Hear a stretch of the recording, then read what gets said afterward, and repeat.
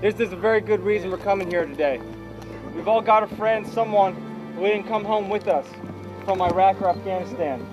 And their memory has given us the strength and courage to carry on.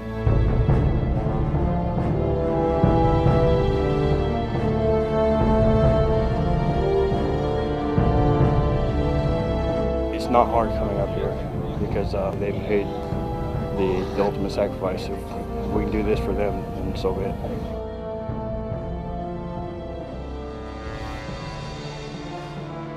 We're gonna get this cross up to the top of the hill. And we all have our own reasons. I've got my own reasons.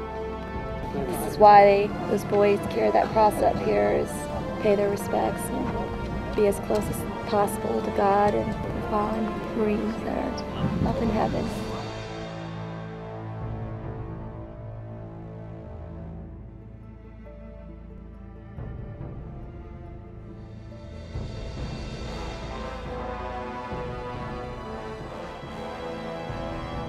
This is uh, part of Horno history here.